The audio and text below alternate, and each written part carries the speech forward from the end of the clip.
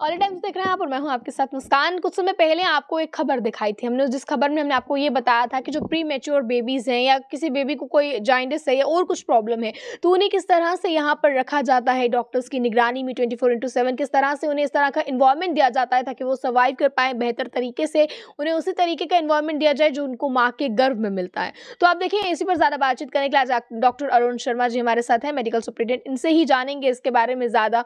और आपको ये भी जानकर खुशी होगी कि जम्मू कश्मीर में अब पहली बार इस हॉस्पिटल में आपको ऐसी सुविधाएँ मिलेंगी जो आपको पहले कहीं नहीं मिलती थी। अब दरअसल सरकार धीरे धीरे सही पर इस तरह की जो है फैसिलिटीज़ गवर्नमेंट हॉस्पिटल्स में भी लेकर आ रही है। आपको मैं बता दूँ गवर्नमेंट हॉस्पिटल्स में अब आप लोगों को मिल्क बैंक भी बहुत जल्द मिलने वाला है। मिल्क बैंक के बारे में आप सभी लोग जानते हैं कि वो जहाँ पर माँ का दूध जो है वो बच्चों को दिया जाएगा। कई माएँ अपने बच्चों को खुद फ़ीड नहीं कर पाती हैं, या उन्हें दूध नहीं बनता है, पर वहाँ आप मिल्क बैंक से दूध ले सकते हैं। अब इसके लिए भी ज़्यादा क्या प्रावधान है वो भी हम आपको बताएँगे जल्द ही भी जो है अनाउंस किया जाएगा पर उसी पर ज़्यादा क्या कुछ बातचीत करने के लिए हमारे साथ अरुण शर्मा जी हैं। सर बहुत बहुत स्वागत आपका थैंक यू आपसे जानना चाहेंगे कि जो ये प्रोविज़न आया है यहाँ पर मिल्क बैंक की बात करें तो आप किस तरह से देखते हैं जब ये यहाँ पर पास हो जाएगा ये मिल जाएगा यहाँ पर लोगों को सुविधा ये मिलने लगेगी तो कितनी आसानी लोगों को यहाँ पर होगी क्या बिल्कुल ये हॉस्पिटल जो है बहुत पुराना हॉस्पिटल नहीं है।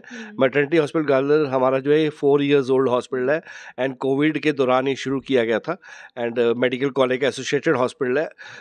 मिल्क बैंक की जहाँ तक बात कर रहे हैं हम दो साल से हमारे यहाँ पे निकू जो है न्यूनेटल इंटेंसिव केयर यूनिट हमारा चल रहा है प्लस हमारी ऑब्स्टेटिक्स की गायनी की चार ऑपरेशन थिएटर्स है हमारे पास लेबर रूम्स हैं। तो ये सारी basic maternity and child services थी चाइल्ड में भी न्यूरोटोलॉजी सर्विसेज़ थी। उसको आगे फर्दर करने के लिए फ्यूचर एक्सपेंशन के लिए हमारे H O D neonatology, doctor Ashu Jamwal and H O D paediatrics doctor Ghanshyam Singh Saini and हमारे principal and dean doctor Ashutosh Gupta की गाइडेंस में हम इसको फर्दर एक सुपर स्पेशलिटी हॉस्पिटल के तौर पर डेवलप कर रहे हैं, जिसमें कि न्यूरोटोलॉजी सर्विसेज़ को हमने सेवेंटी फाइव बेडेड में रखा था, जो फोर्थ फ्लोर में आपने देखा होगा। उसके अलावा इसको हम एक्सपैंड किया अब थर्ड फ्लोर पे, जहाँ पे भी हंड्रेड बेडेड का निकू एक बहुत बड़ा निकू होता है हंड्रेड बेड जिसमें फैमिली सेंटर्ड वार्ड भी हैं, जो कंगारू मदर केयर भी दी जाती है। एंड वहीं पर हमारा प्रपोजन था कि हम एक milk bank human milk complete lactational management unit जिसको बोलते हैं ह्यूमन मिल्क बैंक इंसानी दूध क्योंकि इंसानी दूध जो माँ का दूध ऐसा दूध है जिसमें कई किस्म के वैक्सीन और इम्यूनाइजेशन हैं जो बच्चों को बचा सकती है।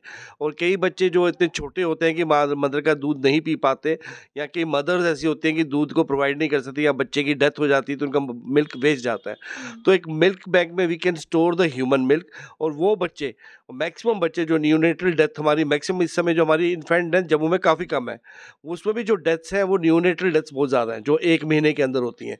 तो उनको कम करने के लिए सर्विसेज़ हम प्रोवाइड कर रहे हैं।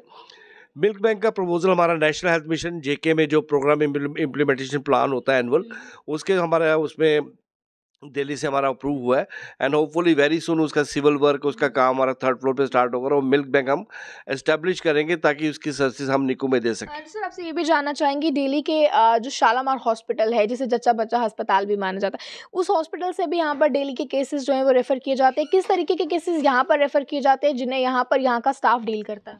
बिल्कुल हम एक पैरेलल हॉस्पिटल है एस एम जी एस के। वी आर मतलब ब्रदर ब्रदरली हम हॉस्पिटल हम कॉमन हॉस्पिटल है एस एम जी एस का। एस एम जी एस में जो निकू पे लोड बहुत ज़्यादा है। हम्म। आपको पता है वहाँ sixty to seventy eighty deliveries जो एस एम जी एस में खुद की होती हैं। एंड उसके अलावा पूरे जम्मू डिवीज़न से वहाँ रेफरल होता है। तो कई बार निकू में एक जो बच्चे का बेड है कॉट है उसमें चार चार पाँच पाँच बच्चों को रखना पड़ा वो मजबूरी है। हम्म। तो ये फैसिलिटी बनने का फ़ायदा हमें ये हुआ कि उन बच्चों को इन्फेक्शन का खतरा बहुत होता है होता है। दो बच्चे अगर इकट्ठे लेटे हैं, एक प्रीमेच्योर है, एक डेट से पहले हुआ है, किसी को अगर इन्फेक्शन है मैनजाइटिस है, कुछ है तो दूसरे को चांसेस बढ़े आती हैं। तो यहाँ पर हमने, आपने देखा फैमिली सेंटर वार्ड भी हैं सेपरेट जिसमें मदर के साथ बेबी को रखा जाता है, जिससे बेबी की ग्रोथ जल्दी ग्रोथ होती है। एंड दूसरा निकू ए एंड बी में हमारे जो है सेपरेट कॉट्स आर प्रोवाइडेड ताकि वो जो इन्फेक्शन रेट हमारा एकदम से कम हो जाता है और बच्चा जो है दो निकू में जो बच्चों का स्टे होता है बड़ा प्रोलॉन्ग होता है। बीस पच्चीस दिन महीना बच्चे को यहाँ रखना पड़ता है ताकि वो प्रॉपर डेवलप हो जाए एंड तब जाकर उसकी छुट्टी करें। पर वहाँ से हमें एस एम जी एस को और हमें दोनों का कम्बिनेशन ये बेनिफिट है कि वहाँ का इन्फेक्शन रेट कम करने में हम हेल्प कर रहे हैं और यहाँ पर हम इंडिविजुअल कॉट्स बेबी को प्रोवाइड करते हैं ताकि वो इन्फेक्शन जो वहाँ पर चांसेस हैं वो यहाँ पर नहीं होती। दस बारह या पंद्रह एज पर द क्योंकि डिपार्टमेंट एक ही है हेड ऑफ़ द डिपार्टमेंट एक ही है हमारे प्रिंसिपल हमारे एक ही हैं तो उन्हीं की सबकी डायरेक्शन पे एज पर रिक्वायरमेंट जो यहाँ के हमारे कंसल्टेंट है वो वहाँ पे टेलीफोनिकली बात करके तो बच्चों को हम शिफ्ट करते हैं और यहाँ पे रखते हैं। सवाल आपसे और करना चाहूँगी जितने भी गर्भवती महिलाएँ हैं ये उनके लिए ज़रूरी होने वाला है क्योंकि आप देखें कि अगर कोई पेशेंट है वो सरवाल हॉस्पिटल में दिखा रहा है वो गर्भवती हैं वो महिला सरवाल हॉस्पिटल में दिखा रही है बट अगर उनके बच्चे को कोई मसला आ जाए तो उसे शालामार रेफ़र किया जाता है। तो क्या जो यहाँ पर दिखा रहे हैं उन्हें कोई मसला आए तो उन इतनी सुविधा यहाँ पर इस हॉस्पिटल में है कि गांधीनगर में ही उनका इलाज किया जाए? बिल्कुल बिल्कुल। We are equal S M और इससे हायर यूनिट हमारे यहाँ जम्मू कश्मीर में नहीं है। मतलब कश्मीर में है जम्मू में हमारी यही हाईएस्ट यूनिट है जो एस एम और हमारा हॉस्पिटल है। तो हमारा आपस में कोऑर्डिनेशन दोनों हॉस्पिटल्स का आपस में ये कोऑर्डिनेशन है कि पेरीफ्री से अगर कोई सिक आती है वुमेन और अगर शालामार में प्रॉब्लम है ओवरलोडिंग है कुछ है तो सेंड इट ओवर हेयर तो यहाँ पे हम उसकी ट्रीटमेंट प्रॉपर कर करते हैं और यहाँ से हमारा फर्दर रेफरल हम वापस अगर कोई बहुत रेयर केस बड़ी वेरी रेयर केस है कि हम यहाँ से एस एम अगर भेजते हैं वरना वहाँ से हम लोड कम करने में यहाँ करते हैं। And most of the caesarean जैसे आप बात कर रहे हो लेडीज़ जो उनका कि हाई रिस्क लेडीज़ होती हैं जो शालामार में आती हैं सपोज़ कर लो वहाँ पे पच्चीस तीस चालीस वहाँ पे सीजेरियन है और बड़ा ज़्यादा रश पड़ गया तो वो दस बारह हमारे यहाँ पे उसको गाड़ी से हम यहाँ ट्रांसफ़र करते हैं एंड उनके सीजेरियन जो हम यहाँ परफॉर्म कर देते हैं। तो लोड एकदम से हमारा डिक्रीज होने में बड़ा हेल्प हो गया जम्मू कश्मीर। और एक टर्शरी केयर सेंटर जो एक मेडिकल कॉलेज का सेंटर था पुल पार ऐसा कोई सेंटर नहीं था। तो एक वो सेंटर यहाँ पर डेवलप हुआ है मदर्स एंड चिल्ड्रन के लिए कि जो आप देख कर सकते हैं। इसके अलावा काफ़ी चीज़ें हैं जो हम अभी डेवलप कर रहे हैं जैसे आपने सुना होगा लास्ट की next generation gene sequencing lab ये मतलब जम्मू कश्मीर का पहला लैब है जो कोविड के दौरान इस्टेब्लिश हुआ था जिसमें कि कोविड के स्ट्रेन्स को आइडेंटिफाई कर कर सकते थे जो दिल्ली में टेस्टिंग होती थी। पर अब यहाँ पे हमारे टेस्टिंग अवेलेबल है और रिसेंटली हमने वहाँ पे ब्रेस्ट कैंसर के कुछ केसेस 96 केसेस की हमने स्क्रीनिंग की है जो एडवांस में आइडेंटिफाई हुआ है उसमें से एक केस आइडेंटिफाई हुआ कि जिसको ब्रेस्ट केस कैंसर होने की चांस है फ्यूचर में। तो वो machine next generation gene sequences भी हमारे यहाँ मेटर्निटी हॉस्पिटल में इंस्टॉल हुई है एंड वो एक बहुत बड़ा एक तीन चार करोड़ की मशीन है बहुत कॉस्टली मशीन है उसमें बहुत सारे जेनेटिक फैक्टर्स हम आइडेंटिफाई कर सकते हैं वायरस के खास तौर पे कि कौन सा नया स्ट्रेन डेवलप हुआ है।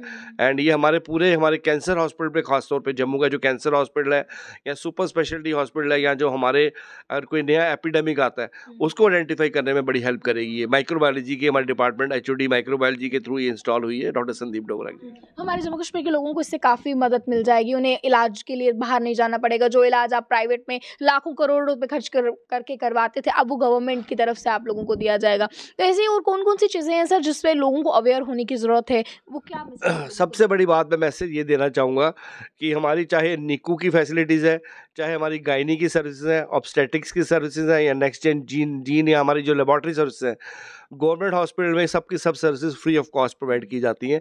अगर आप किसी भी प्राइवेट हॉस्पिटल में निक्कू में जाते हो तो सात से आठ हज़ार नौ हज़ार आपका एक्सपेंडिचर होगा। हमारे यहाँ पे प्राइम मिनिस्टर का जो आयुष्मान योजना है वो भी हमारे यहाँ पे अवेलेबल है। तो फ्री ऑफ़ कॉस्ट हम प्रोवाइड करते हैं जो भी एक निक्कू में बच्चा एडमिट होता है यहाँ प्रेग्नेंट वुमेन को तो एनएचएम के थ्रू बेनिफिट मिलता है जेएसएसवाई में एंड अदर हमारा गायनी का कोई केस हो स्ट्रक्टिमी का कोई केस हो तो हज़ारों रुपये उस पर प्राइवेट में लग जाते हैं। तो दैट कॉस्ट कुछ भी नहीं लोगों को लगता out of pocket and free of cost Pradhan Mantri Jan Arogya Yojana Ayushman Bharat में हम फ्री ऑफ़ कॉस्ट यहाँ प्रोवाइड करते हैं।